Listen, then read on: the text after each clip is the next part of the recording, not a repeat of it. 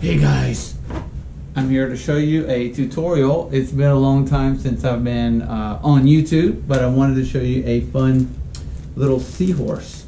So for that, uh, we're to need two 260s, a white 5 inch round, and a black 5 inch round. For our first 260, it's going to be a little bit more than halfway.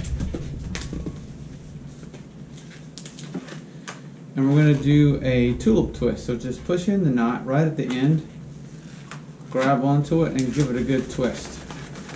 And then push that knot back up into the balloon and this makes the snout of our little seahorse.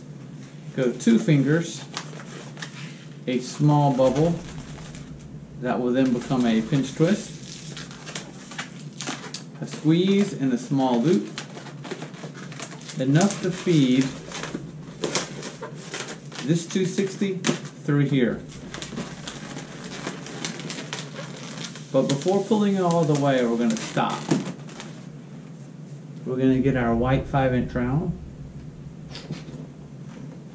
About this big. Split that in half. Followed up by a black 5 inch round. About the size as one of the eyeballs and then we're also going to split that in half. Go ahead and lock those together. We're going to slide them inside that loop created for the head of our seahorse. And then we're going to put our fingers on both sides of that and give it a pull until it's nice and snug. This pinch twist is going to get switched to the bottom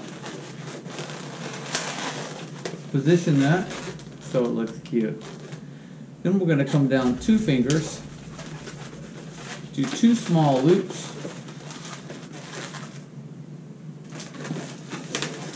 for the fins of our little seahorse. We're then going to come down three fingers, and we're going to put a small bubble. This is going to be a pinch twist. So we're at this point. Get your other 260. We're going to inflate it. Maybe a little more than half. We're not going to use much. We're going to lock that into this junction point between the two fins. And we're going to make a little dorsal fin. So two finger bubble, a small bubble, and a matching two finger bubble and lock it right back in. But how's this coming out the front? So this is going to be the tummy of our seahorse. Now for this, instead of just going down, we're going to kind of push up the seahorse. And we're going to look right here and lock that into that pinch twist on the body.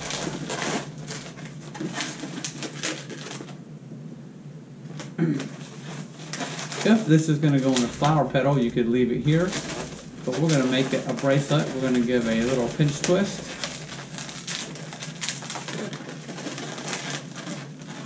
So we have this. We're going to shape this tail. So just curl it up forward. We're going to get rid of the rest of this, but pop it at the end because this is going to serve as our bracelet. So make the loop big enough for the person's hand or arm to fit through and wrap that back in. And you can just stash the rest. And this is a little bracelet to be worn on the side, just like this. If you want to take it one step further, I usually do, get a light blue 260 and just puff some air into it. Tie it off. This is going to be the iris of our seahorse's eye. So we're going to feed this through halfway and just tuck this side in over here. Pull a little bit snug and tuck this side in over here. And then we have a super cute seahorse that's really, really quick. Hope you enjoyed it. Thanks for watching.